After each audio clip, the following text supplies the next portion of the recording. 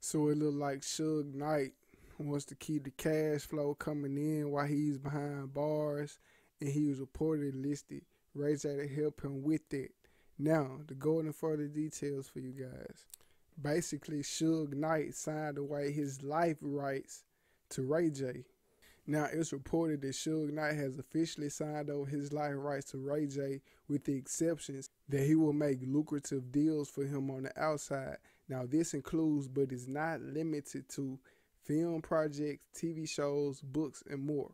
And for those wondering why Suge Knight behind bars in the first place, he ain't been keeping no history within the past few years, basically, he was sentenced to 28 years behind bars last October after pleading no contest to a charge of voluntary manslaughter for a 2015 incident in which he struck a 15 year old, killing him in a hit and run incident.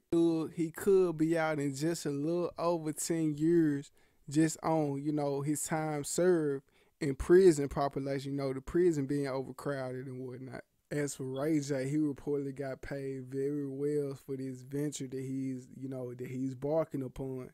And outside of music, even though we don't get too much of music from Ray J anyway nowadays, you know, he putting his money up for, you know, good investments and, you know, he, you know, using his money wisely. He ain't out here going broke or trying to, at least he trying to, you know, venture out into other ventures and try like with the headphones he got with headphone deal he got going on. You know what I'm saying? With the thing he got with Suge Knight. You know what I'm saying? This cannabis, like he just got a deal for this cannabis industry. He got a, a million dollar deal with them. You know, he's just branching off, keeping his name alive. And plus, you know, he's still a star and cast member of Love and Hip Hop, you know, on VH1. Now, me personally, I don't really watch TV like that anyway, especially if it's reality TV. I just ain't never really just. Now, back in the days, like when Flavor Flav days, and you know what I'm saying, shit like that, like okay, but now I ain't, I'm, this shit fake. I'm not in the reality TV. I don't watch TV like that. You know what I'm saying? I might catch a, um, you know, I do watch my teams or whatnot, catch a game or two here and there. But as far as just, you know, I'm not into that. So, but salute with the J, you know what I'm saying? You got to make the money. You got to make the money work for you, you know?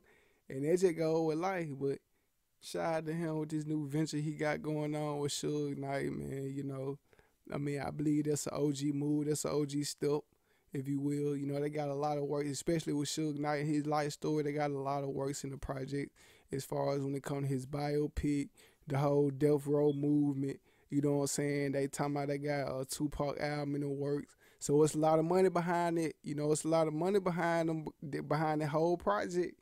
And so Ray J, you know, he just, you know, I salute him on it. But let me know what y'all think in the comment section. I also need for y'all to hit that like button, smash that subscribe button, hit that notification bell for you, boy.